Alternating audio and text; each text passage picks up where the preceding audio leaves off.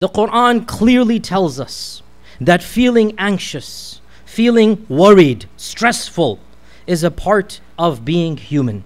There's nothing wrong with that. Societal problems can and will cause us stress.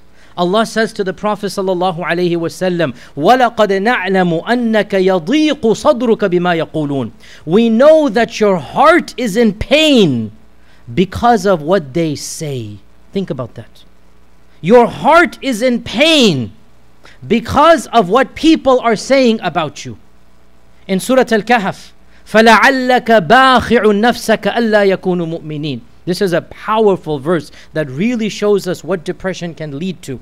Allah is speaking to the Rasul sallallahu alaihi wasallam and he is saying it is possible that your anxiety your anguish will cause you to die. I know it sounds very melodramatic. This is the Arabic word bakha'a bakha'a means to die because of grief Bakha'a means to go into depression into such a state that you end your life. Not suicide, but basically your depression causes you to die. And Allah says in the early Meccan phase, Ya Rasulullah, we know you're going down this road. Ya Rasulullah, you're getting too anxious, too worried. Don't go down this road. You might die in anguish. But of course, our Prophet, why was he so anguished? Why was he grief? Because the people didn't believe, not because of money. Not that I'm saying there's nothing wrong with that, but our Prophet is obviously not going to become depressed because of money. Why was he depressed? Why was he, I shouldn't even say the word depressed to me. I should say he was feeling anguish. That is the better phrasing. He was feeling extreme anguish. Why was he feeling anguish? Because his people did not believe.